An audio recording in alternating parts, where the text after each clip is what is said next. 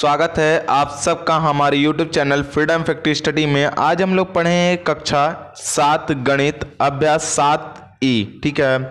इसमें का कुछ सवाल हम लोग पढ़ चुके हैं। इसका हम लोग आगे नौवें से पढ़ेंगे, ठीक ना? इसके भाग दूसरे में। तो इसका नौवा सवाल हमारा दिया हुआ है कि कितने समय में तीन सौ पचास रुपये दो सही, एक बटा दो वर्ष में सॉरी प्रतिशत वार्षिक ब्याज की दर से मतलब ये आपका दर दिया हुआ, से तीन सौ पचास रुपया हो जाएगा। तो आपका जो जो चीज़ पता है, वैसे जैसे हमने बताया वैसे करना है। जो जो चीज़ पता है उसको वैसे वैसे लिखेंगे, ठीक है? जैसे यहाँ पे आपका मूलधन पता है, मूलधन लिखिए। मूलधन आपका कितना है? 350 तो 350 लिख दीजिए। ठीक है? उसके बाद आपका मिश्रधन कितना है? तो मिश्रधन लिख दीजिए। मिश्रधन बराबर आपका दिया हुआ है तीन सौ पचासी, तीन सौ पचासी लिख दीजिए। अब आपको एक चीज़ और पता है, इसमें दर तो दर लिख दीजिए। दर बराबर कितना दे दिया हमारा? दो सही एक बट्टे में दो प्रतिशत। इसको अगर करते हैं तो दो दिन चार एक पाँच। मतलब यहाँ पर हो जाएगा पाँच बट्टे में दो प्रतिशत। ठीक है? अब देखिए समय, आपका समय कितना है? समय। समय बराबर आपको नहीं पता है। समय बराबर क्या है? क्वेश्चन मार्क क्योंकि समय निकालना है। कितने समय में? तो समय निकालना है तो समय को समय ही छोड़ देंगे। अब आपको पहले निकालेंगे ब्याज, क्योंकि मिसधन पता है, मूलधन पता है तो ब्याज आपका निकल जाएगा। तो ब्याज बराबर क्या होता है हमारा सूत्र? ब्याज बराबर मिश्र धन, ठीक ना? मिश्र धन माइनस क्या हो जाएगा हमारा? मूलधन। मूलधन। तो आपका मिश्रधन कितना दिया हुआ हमारा तीन सौ पचासी माइनस मूलधन कितना दिया हुआ है? तीन सौ पचास। और जब दोनों को घटाएँगे तो आएगा आपका पैंतीस रुपये आपका जो ब्याज निकल करके आया, वो आया पैंतीस रुपये अब इस पैंतीस रुपये का जब ब्याज आ गया तो आप निकाल सकते हैं साधारण ब्याज के सूत्र से इसका समय। तो हम लोग लिखेंगे साधारण ब्याज बराबर ठीक ना? साधारण ब्याज बराबर। इस ब्याज को ही साधारण ब्याज बोलते हैं, ठीक है ना? तो साधारण ब्याज बराबर, यहाँ पे ब्याज बराबर, यहाँ पर हो जाएगा मूलधन, ठीक है ना? मूलधन गुणे यहाँ पर हो जाएगा दर, और गुणे यहाँ पर हो जाएगा हमारा कितना? समय, और बट्टे में कितना हो जाएगा हमारा? सौ। अब जो जो चीज़ पता है, उसको जिस, उस स्थान पे लिखिए जहाँ जहाँ पता है। जैसे साधारण ब्याज, आपको पता है पैंतीस दिया हुआ इसके नीचे लिख दीजिए पैंतीस। ठीक है? बराबर। मूलधन आपको पता है 350 इसके नीचे लिखिए 350 गुणे दर आपको पता है, पाँच बट्टे में दो तो पाँच बट्टे में दो लिखिए, ठीक है ना? और गुणे, यहाँ पे समय आपको नहीं पता है तो समय को ऐसे लिख दीजिए समय। और बट्टे में सौ है तो सौ लिख दीजिए, और दर का दो छूटा हुआ था तो दो भी लिख दीजिए। ठीक है? ये हो गया ऐसे। अब इसको क्या करिए कि इससे इसको कटा लेंगे हम लोग, और ये पाँच से कट जाएगा, पाँच दुना के दस, दो बार में कट जाएगा। दो दुनी के चार, नीचे में चार हो गया, ये पैंतीस है। तो चार का ये इस तरीके से तिरक गुणा होता है मतलब यहाँ पे लिखेंगे पैंतीस गुणे यहाँ पर हो जाएगा हमारा चार बराबर, यहाँ पर हो जाएगा पैंतीस, और गुणे यहाँ पर हो जाएगा हमारा समय। ठीक है? समय। क्योंकि इस चार का दोनों इधर गुणा हो गया मतलब कि पैंतीस था ये पैंतीस में चार को गुणा हो गया। अब यहाँ पे देखिए गुणा है, उधर जाके क्या हो जाएगा, भाग मतलब समय बराबर हो जाएगा हमारा। यहाँ पे हो जाएगा पैंतीस गुणे अगर चार है, और ये गुणा था, इधर आके भाग हो जाएगा मतलब लिख देंगे पैंतीस तो पैंतीस से पैंतीस कट जाएगा तो निकल के आएगा चार वर्ष। और यही इसका आंसर होगा। ठीक है? दसवां सवाल हमारा दिया हुआ है कि 10 प्रतिशत वार्षिक ब्याज की दर से कितने समय में, इसमें भी समय पूछ रहा है, दो सौ रुपये तीन गुने हो जाएँगे। तो ध्यान से इसमें देखना है कि आपका दर दिया हुआ है कितना, जितना दिया उसको लिखिए। दर आपका पता है दस प्रतिशत। ठीक है? आपका दूसरा मूलधन पता है आपको, मूलधन, ठीक ना? मूलधन। आपका पता है दो सौ रुपये दो सौ रुपये मूलधन आपका दो सौ रुपये पता है तो आपको एक चीज़ और भी पता चल गया मिश्रधन, क्योंकि मिश्रधन तीन गुना हो जाएगा, क्योंकि जो अंतिम मूल्य होता है वही मिश्रधन होता है। तो यहाँ पे लिखेंगे मिश्रधन, मिश्र धन मिश्रधन कितना है आपका? मतलब 200 मूलधन है और गुणे इसके तीन गुना हो जाता है मतलब मिश्रधन आपका कितना हमारा? छः सौ रुपये है। आप समझ में आ गया ये चीज़? क्योंकि तीन गुना है इसका 200 का। तो दो गुणे दो गुणे तीन मतलब 200 गुणे तीन बराबर छः सौ रुपये अब देखिए, जब आपको मूलधन और मिश्रधन पता है तो ब्याज निकाल सकते हैं आप। ब्याज बराबर हमारा हो जाएगा मिश्र धन, ठीक ना? मिश्र धन और माइनस के क्या हो जाएगा हमारा? मूलधन। ठीक है? मूलधन। तो मिश्रधन आपका पता है 600 निकला है और माइनस मूलधन आपका 200 है तो आपका ब्याज जो निकल के आया वो हो गया चार सौ रुपये ठीक है? ब्याज आपका क्या निकल के आया? चार सौ रुपये अब आपको समय पता करना है कि कितने समय में। तो समय लिखेंगे समय और स्कल टू, यहाँ पर हो जाएगा क्वेश्चन मार्क। ये आपको ज्ञात करना है। अब आपको साधारण ब्याज का सूत्र सिंपल लगाना है, क्योंकि सारी चीज़ हमें पता चल गया दर भी पता है, मूलधन भी पता है मिश्रधन भी पता है, यहाँ ब्याज भी पता है और समय बस पता करना है। तो आप डायरेक्टली लगा सकते हैं साधारण ब्याज का सूत्र। तो यहाँ पर हो जाएगा साधारण ब्याज बराबर, ठीक ना? साधारण ब्याज बराबर ब्याज। देखिए, एक फार्मूला का यूज़ करिए। सिंपल सा, साधारण ब्याज का बराबर। फिर आपको समय के फार्मूला अलग याद करने की ज़रूरत नहीं होगी। फिर दर के लिए अलग याद करने की ज़रूरत नहीं होगी। बस आपको सिंपल से यही करना है। जो चीज़ निकालना हो, उसको वैसे ही छोड़िए। समय निकालना, समय को वैसे ही छोड़िए। आप गुड़ा भाग कैलकुलेशन करके, इधर पक्षांतर कर करके, आप क्या कर सकते हैं कि इसको सॉल्व कर सकते हैं। यहाँ देखिए, समय। बराबर सॉरी साधारण ब्याज बराबर। यहाँ पे हो जाएगा मूलधन, ठीक ना? मूलधन और गुणे दर, ठीक ना? दर और गुणे यहाँ पे हो जाएगा समय, ठीक है ना? समय। और बट्टे का क्या हो जाएगा हमारा? सौ। अब देखिए यहाँ साधारण ब्याज है। साधारण ब्याज आपको कितना निकल के आया है? चार सौ। तो ये लिख दीजिए चार सौ। और बराबर, मूलधन आपका कितना है? दो सौ। तो दो सौ लिख दीजिए। गुणे दर आपका कितना है? दस। तो दस लिख दीजिए। और समय निकालना है तो ये हो जाएगा समय। ठीक है ना? अब बट्टे का क्या होता है? सौ तो सौ कर दीजिए, ज़ीरो ज़ीरो और ज़ीरो ज़ीरो कट जाएगा।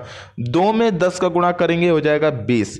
तो यहाँ पे हो जाएगा हमारा चालीस चार सौ और बराबर यहाँ पे हो जाएगा बीस गुणे यहाँ पे हो जाएगा हमारा समय। अब एक चीज़ और बताए थे कि जब गुणा है तो उधर क्या हो जाएगा? भाग।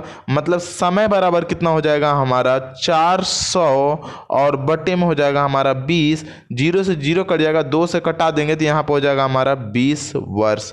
और यही इसका क्या हो जाएगा? हमारा आंसर हो जाएगा। वहाँ सवाल हमारा दिया हुआ है कि किसी वस्तु का अंकित मूल्य पता है? अंकित मूल्य छपा हुआ मूल्य, ठीक है ना? आपको पता है पाँच सौ रुपये है, पर उस पर मतलब वह दस प्रतिशत बट्टा पर बेचता है। तो जो भी बट्टा लगता है, वो अंकित मूल्य पर लगता है। सिंपल सा ये सवाल है आपका। विक्रय मूल्य आपको बताना है। तो पहले हम लोग लिखेंगे क्या चीज़? कि आपको जो चीज़ पता है, उसको लिखिए। वस्तु का अंकित मूल्य, ठीक ना? यहाँ पर लिखेंगे वस्तु, ठीक है ना? बहुत ही बारीकी से बता रहा हूँ, बहुत स्लो बता रहा हूँ, ताकि आपको समझ में आ जाएगा।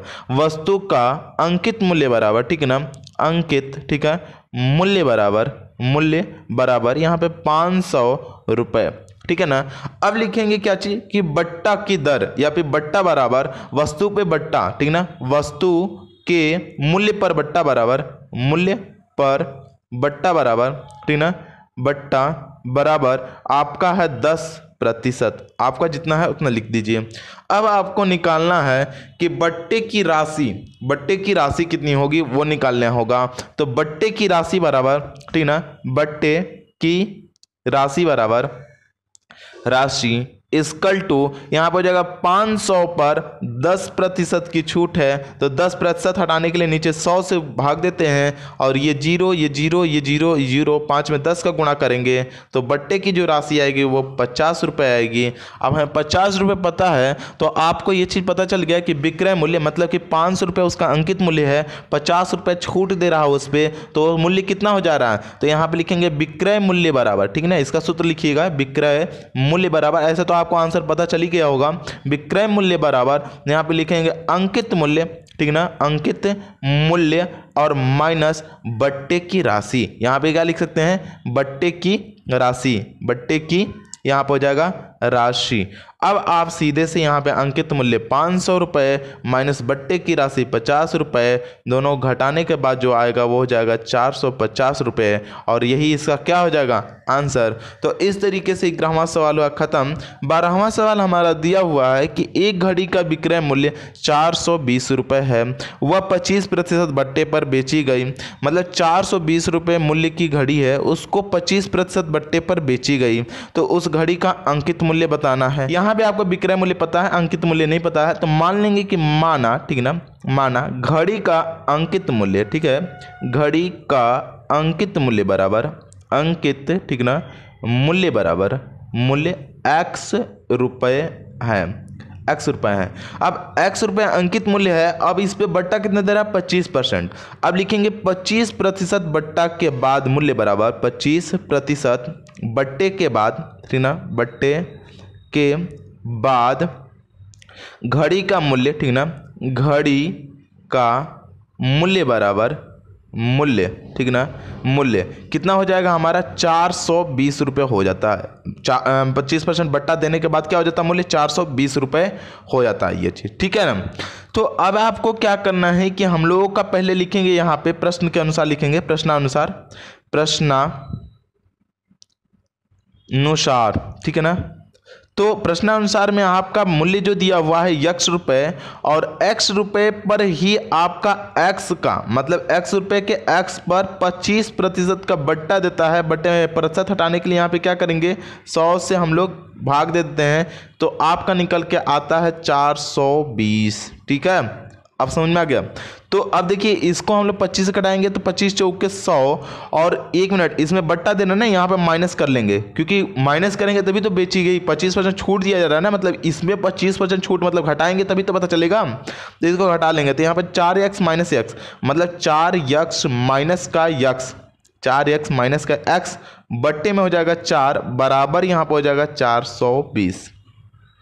420 अब यहाँ पे इसको घटाएँगे तो आपका घटाने के बाद जो निकल के आएगा वो हो जाएगा तीन एक्स बटे में हो जाएगा चार बराबर हो जाएगा 420 अब ये चार से इसको गुणा करेंगे, तीन से इसमें भाग देंगे। क्यों? देखिए, चार से इसमें गुणा करेंगे, तीन गुणा होता है तो थ्री एक्स बराबर यहाँ पर हो जाएगा चार सौ बीस गुणे यहाँ पर हो जाएगा चार। ये गुणा है इन दोनों के बीच में, उधर जाकर भाग हो जाएगा मतलब यक्ष इजकल टू चार सौ बीस और गुणे हो जाएगा चार बट्टे में हो जाएगा हमारा तीन। अब तीन से इसको कटाएँगे तो तीन कम तीन और तीन चौके बारह, एक सौ चालीस में चार को गुणा करेंगे तो यक्स बराबर चौदह चौके छप्पन, पाँच सौ साठ रुपये तो याद रखिएगा, इसका जो आंसर होगा, वो होगा पाँच सौ साठ रुपये और यक्स हम लोग क्या माने थे? अंकित मूल्य। तो इसका जो अंकित मूल्य निकल करके आएगा, वो होगा पाँच सौ साठ रुपये लेकिन आपके जो किताब है, उसमें इसका आंसर तीन सौ दिया हुआ है, जो कि गलत है। ठीक है? आप लोग का आंसर इस सवाल के लिए जो आंसर होगा, वो होगा पाँच सौ साठ रुपये तेरहवा सवाल हमारा दिया हुआ है कि एक सिलाई मशीन का अंकित मूल्य आठ सौ तीस रुपये है। यदि उस दुकानदार ने ग्राहक को बीस प्रतिशत बट्टा देने देने के बाद मशीन का विक्रय मूल्य ज्ञात करना है। तो लिखेंगे अंकित मूल्य बराबर, ठीक ना? मशीन का अंकित मूल्य, ठीक ना? मशीन का अंकित मूल्य अंकित मूल्य, यहाँ पे दिया हुआ हमारा आठ सौ तीस रुपये ठीक है? आठ सौ तीस रुपये और यहाँ पे दुकानदार मतलब ग्राहक का बट्टा मतलब यहाँ पे देंगे इसको हम लोग, दुकानदार को बट्टा मतलब कि बट्टा के बाद मूल्य बराबर, यहाँ पे बट्टा बराबर, ठीक ना? बट्टा देता है देता है बराबर 20 प्रतिशत, बीस प्रतिशत बट्टा देता है। बराबर न लिखिए 20 प्रतिशत बट्टा देता है। ठीक ना? देता है बट्टा बराबर 20 प्रतिशत। ठीक है? तो अब विक्रय मूल्य बराबर, यहाँ पे लिख सकते हैं, या फिर बट्टा के बाद मूल्य बराबर, या बट्टा का मूल्य बराबर, ठीक ना? तो यहाँ पर लिखेंगे कि मूल्य बराबर मशीन का मशीन का बट्टे के बाद मूल्य बराबर बट्टा मूल्य बराबर, बट्टा मूल्य, ठीक ना? बट्टे का मूल्य बराबर इसकल टू 830 और गुणे का यहाँ पर जाएगा 20 बट्टे में 100 क्योंकि 20 प्रतिशत है, इसको ज़ीरो ज़ीरो ज़ीरो ज़ीरो, इसको गुणा कर लेंगे तो आपका निकल करके आ जाएगा दो तें छः और आठ दुना के 16 मतलब एक सौ छाछठ रुपये क्या कर देता है, वो मूल्य का बट्टा देता है। तो मशीन का विक्रय मूल्य बराबर, यहाँ पर लिखेंगे मशीन का विक्रय मूल्य बराबर, मशीन का विक्रय मूल्य विक्रय मूल्य बराबर यहाँ पर हो जाएगा क्या चीज़? अंकित मूल्य, ठीक ना? अंकित मूल्य मूल्य और माइनस बट्टा मूल्य, ठीक ना? यहाँ पर लिख दीजिएगा बट्टा मूल्य बट्टा मूल्य। ठीक है? इस तरीके से। अंकित मूल्य आपका हो जाएगा 830 माइनस। बट्टा मूल्य कितना? हमारा एक दोनों को घटा देंगे तो आपका हो जाएगा 10 में से 6 गया चार और यहाँ बच गया दो मतलब 12 में से 6 गया 6 और यहाँ बच गया सात। सात में से एक गया बचेगा 6 मतलब छः रुपये और यही इसके क्या हो जाएँगे? आंसर हो जाएँगे। चौदहवा सवाल दिया हुआ है, एक पुस्तक का अंकित मूल्य पचहत्तर रुपये है। एक पुस्तक का जो अंकित मूल्य है, वो पचहत्तर रुपये है। और बोल रहा है कि, और दुकानदार ने साठ रुपये में बेच दिया। वह कितने प्रतिशत का छूट पाया? तो सबसे पहले जो चीज़ पता है, उसको लिखिए। पुस्तक का, ठीक ना? पुस्तक का अंकित मूल्य। अंकित मूल्य। जैसा मैं अभी लिख रहा हूँ उसको समझते ही जाइएगा, पचहत्तर रुपये अंकित मूल्य पचहत्तर रुपया दुकानदार ने साठ रुपये में बेच दिया। तो लिखेंगे विक्रय मूल्य, इसका पता है आपको? विक्रय मूल्य बराबर, मूल्य इसका है साठ रुपये विक्रय मूल्य आपका साठ रुपये है। तो कितने प्रतिशत? मतलब कि बट्टा हम लोग निकालेंगे कि बट्टा बराबर, यहाँ पे ठीक ना? बट्टा इसकल टू, यहाँ पर हो जाएगा अंकित मूल्य। अंकित, यहाँ पर हो जाएगा मूल्य। और माइनस यहाँ पर हो जाएगा विक्रय मूल्य, ठीक है? विक्रय मूल्य। तो अंकित मूल्य आपका कितना दिया हुआ है? पचहत्तर और माइनस आपका विक्रय मूल्य कितना दिया है? साठ। तो अंग यहाँ पे बट्टा आपका निकल के आ जाएगा पंद्रह रुपये तो आप डायरेक्टली यहाँ पे बट्टे प्रतिशत निकालने के लिए, ठीक ना? यहाँ पे लिखेंगे बट्टा प्रतिशत बराबर, ठीक ना? बट्टा प्रतिशत का फॉर्मूला होता है आपका कि बट्टा, ठीक ना? बट्टा इस गुणे यहाँ पर जाएगा सौ बट्टे में अंकित मूल्य अंकित मूल्य, ठीक है, अंकित मूल्य। तो आपका यहाँ पर जाएगा कितना? बट्टा हमारा कितना? पंद्रह, और गुण यहाँ पर जाएगा सौ, और अंकित मूल्य कितना था हमारा? पचहत्तर तो पचहत्तर कर लीजिए। इसको कटाएँगे, पंद्रह से पाँच बार में कट जाएगा, पाँच से इसको कटाएँगे तो यहाँ पर जाएगा हमारा बीस प्रतिशत, जो कि बट्टा प्रतिशत आएगा मतलब कि बट्टा प्रतिशत आप लिख सकते हैं कि बट्टा प्रतिशत बराबर या बट्टा छूट बराबर, ठीक ना? बट्टा बराबर। बीस प्रतिशत। यही आपका क्या हो जाएगा? हमारा आंसर हो जाएगा। हमारा सवाल दिया हुआ है कि एक रेडियो का अंकित मूल्य यहाँ पे पाँच सौ रुपया तथा ग्राहक को चार सौ पचास रुपये में उपलब्ध है तो बताइए उस पर कितने प्रतिशत बट्टा दिया जाता है? तो लिखेंगे कि रेडियो का अंकित मूल्य, ठीक ना? रेडियो का अंकित मूल्य अंकित मूल्य। मूल्य यहाँ पे हो जाएगा पाँच सौ रुपये तथा ग्राहक को दिया गया बराबर, ग्राहक को दिया गया या फिर विक्रय मूल्य ग्राहक को दिया गया, या फिर डायरेक्टली विक्रय मूल्य लिखिए अच्छा रहेगा आपको। यहाँ पे ग्राहक को हटा के विक्रय मूल्य लिखिए, क्योंकि बेचा हुआ मूल्य ही ग्राहक का मूल्य होगा। तो विक्रय मूल्य बराबर, यहाँ पे लिख दीजिए, विक्रय मूल्य बराबर, यहाँ पर हो जाएगा चार सौ पचास रुपये। तो हम लोग लिख सकते हैं इसके लिए कि बट्टा दिया बराबर, या बट्टा बराबर बट्टा बराबर, अंकित मूल्य, ठीक ना? अंकित मूल्य माइनस विक्रय मूल्य विक्रय मूल्य, ठीक ना? छूट देने के बाद अंकित मूल्य यहाँ पर हो जाएगा 500 माइनस बट्टा मूल्य 450 दोनों घटाने के बाद आ जाएगा पचास रुपये। तो ये आपका बट्टा आएगा चार सौ पचास सॉरी, पचास रुपये। तो आप बट्टा प्रतिशत लिखेंगे, आप सूत्र लगा सकते हैं यहाँ पे कि बट्टा, ठीक ना? बट्टा प्रतिशत बराबर यहाँ पर हो जाएगा बट्टा बट्टा मतलब वही होता है, छोट, ये दिया हुआ बट्टा, इसके नीचे लिखते आएँगे तो बट्टा हो जाएगा। यहाँ पे अगर ऐसे लिखते आते हैं तो बट्टा बराबर पचास दिया हुआ ठीक है, ये निकल के आया। ये मत समझिएगा, यहाँ पे बट्टा नहीं आया तो ऐसे निकल गया। ठीक है, बट्टा गुणे यहाँ पर हो जाएगा सौ और बट्टे में हो जाएगा हमारा कितना? यहाँ पर हो जाएगा अंकित मूल्य। अंकित मूल्य। ठीक है? अब देखिए, यहाँ पे बट्टा आपका कितना है? पचास रुपये गुणे यहाँ पर जाएगा सौ। अंकित मूल्य हमारा है पाँच सौ। Zero zero zero zero cut देगा। पाँच से इसको कट कर लेंगे। पाँच, एक कम पाँच। मतलब यहाँ पर हो जाएगा हमारा दस। प्रतिशत। क्योंकि एक तो यहाँ पर हो जाएगा ज़ीरो लग जाएगा, दस प्रतिशत, और यही इसका क्या हो जाएगा? बट्टा हो जाएगा, दस प्रतिशत। ये इसका आंसर हो जाएगा। अगला सवाल हमारा दिया हुआ है कि एक संदूक का विक्रय मूल्य, ठीक है ना? संदूक का विक्रय मूल्य दिया हुआ है चार चौदह सौ रुपये दुकानदार, ठीक है ना? ग्राहक को तीस प्रतिशत बट्टा प्रदान करता है तो संदूक का, ठीक है ना? तीस प्रतिशत बट्टा प्रदान करता है तो संदूक का अंकित मूल्य ज्ञात करना है। तो जैसे हम लोगों ने बारहवा सवाल लगाया था, जस्ट उसी तरीके से इस सवाल को भी हम लोग लगाएँगे। यहाँ पर मान लेंगे कि माना, ठीक ना? माना संदूक का अंकित मूल्य बराबर। यहाँ पर लिखेंगे संदूक का अंकित मूल्य, ठीक ना? अंकित मूल्य। मूल्य आपका दिया हुआ है एक्स रुपये एक्स रुपये ठीक है ना? अब देखिए, संदूक का अंकित मूल्य एक्स रुपये है और बट्टा प्रतिशत बराबर मतलब संदूक का बट्टा प्रतिशत लिख देंगे, संदूक का, यहाँ पे लिखेंगे संदूक का बट्टा प्रतिशत, ठीक ना? बट्टा यहाँ पर हो जाएगा प्रतिशत बराबर तीस प्रति, तीस, ठीक ना? बट्टा प्रतिशत बराबर यहाँ पर हो जाएगा तीस, है, ठीक है ना? बट्टा प्रतिशत या तीस है, दिया हुआ तो तीस प्रतिशत लिख दीजिएगा, ठीक है? अब इसमें क्या करते हैं कि आपको इसमें एक थोड़ा सा काम करना पड़ेगा कि अंकित मूल्य ये है, इस पर तीस प्रतिशत का छूट देता है। मतलब देखिए आप, प्रश्न के अनुसार करेंगे। प्रश्न अनुसार, यहाँ पे देखिए, आपका बट्टा, यहाँ पे अंकित मूल्य यक्स है और यक्स पे ही आपका 30 प्रतिशत छूट देता है। उसके बाद विक्रय मूल्य जो निकल करके आता है, वो होता है चौदह सौ रुपये ठीक ना? ये हो जाएगा चौदह सौ रुपये या फिर डायरेक्टली लिख सकते हैं, विक्रय मूल्य बराबर ये सूत्र लगा सकते हैं एक्स माइनस एक्स गुणे तीस बट्टे में सौ। ठीक है? लेकिन ऐसा कर लेंगे। या अब देखिए, इसमें क्या कर सकते हैं, ज़ीरो से इसको कटा देंगे ज़ीरो को। अब यहाँ पे देखिए थ्री एक्स हो जाएगा, इसका गुणा हो जाएगा तो दस एक्स हो जाएगा। मतलब दस एक्स माइनस थ्री एक्स बट्टे में यहाँ पर हो जाएगा हमारा दस। या तो फिर आप एल्सियम लेके भी कर सकते हैं, कोई दिक्कत नहीं होगा। बराबर यहाँ पे दिया हमारा चौदह सौ तो चौदह सौ कर लीजिए। ठीक है? अब देखिए इसके आगे करते हैं हम लोग। तो यहाँ पे देखिए इसमें से घटाएँगे कितना हो जाएगा? दस में से तीन गया, सात यक्स बट्टे में यहाँ पर हो जाएगा हमारा दस और बराबर यहाँ पर हो जाएगा चौदह सौ। ठीक है ना, चौदह सौ।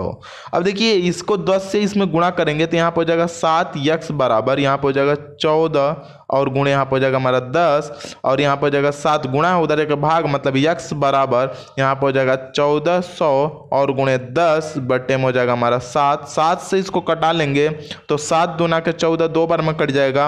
अब यहाँ पर हो जाएगा एक्स बराबर दो सौ और गुणे यहाँ पर हो जाएगा दस बराबर एक्स बराबर आपका निकल के आएगा दो हज़ार रुपये क्योंकि दस का गुणा करेंगे ज़ीरो, बढ़ जाएगा। तो ये हो जाएगा हमारा दो हज़ार रुपये और यही इसका क्या हो जाएगा? आंसर। तो इस तरीके से सोलहवा सवाल हुआ, ख़त्म। और यदि आप लोगों को हमारी ये वीडियो अच्छी लगती हो तो प्लीज़ लाइक करें, शेयर करें, और सब्सक्राइब करना बिल्कुल ना भूलें।